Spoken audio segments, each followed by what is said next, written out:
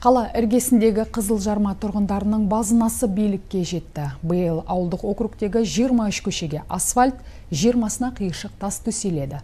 Мұна қала әкімі Асылбек Шаменов халықпен кездесуде айтты. Ауыз су, жарық сынды инфрақұрылым жүйелері де жолға қойылмақ.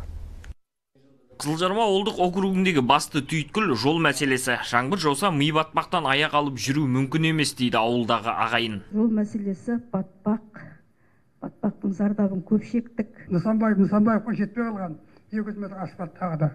Сондай сондай кемтіктері бар да енді. Соларды жалғастырып берсе бізге. Ауыл ел бесігі тарапынан бізде тағы 23 көшеміз мынау асфальттауға көшелеріміз қаралды ол жұмыстарымыз да қазір басталғалы отыр. Ауыл әкіміне біз қазір тапсырып жатырық. Мына бұны күнделікті бақылауға алып осы мердігерлермен басында жүріп аяқпен жүріп соның бәрінің сапасын қарап алуымыз керек Қызылжарма ауылдық округіне жаңадан қоныстанушылар көп. Бүгінде тұрғындардың саны 15 мыңға жеткен. Бала санының артуына байланысты ауылға жаңа мектеп керек. Бұл мәселеде жергілікті билік назарында. Жайлы мектеп ұлттық жобасы аясында 900 орындық білім ошағы бой көтермек. қызылжарма елді мекенінде жайлы мектептің жобасы қаралып тұр оған енді білесіздер самұрық қазына констракшн деген қордан қаражат бөлініп жатыр бұған енді қазір жоба сметалық құжаттары және құрылысына уже тендерлер жарияланды. Құдай қаласа конкурстар аяқталғаннан кейін осы жұмыстарымызды бастаймыз. Биылдықта жалпы енді қызылорда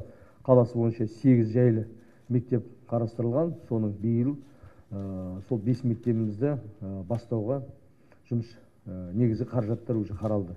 Тұрғындарды ауызсу мәселесі де алаңдатып отыр. суды өзіміз кішкентай жіңішке трубамен кіргізіп алғанбыз. Уже кешеден бастап уже су тоқтады. Жоқ күн жылы болғанша жылы болды дегенше су тоқтайды. Екі жүз метрде су жоқ. Қол қолдан бастап жиырмамен тартылған ол жиырма отыз қырық үйге жетпейді ғой. Енді елді мекеннің қазір кеңейіп жатыр неғып жатыр. Сондықтан осы жердегі бізде ұңғымаларымызды қосымша үш скважинаны бұрғылайтын боламыз ертең ауыз суға сондықтан бұлардың бәрін жасалатын кезде жаңағы көшені зерттеңіз. Қажет болса жобасын бәрін енгізейік. Алдағы уақытта осының түпкілікті мәселесін шешіп кетуіміз керек.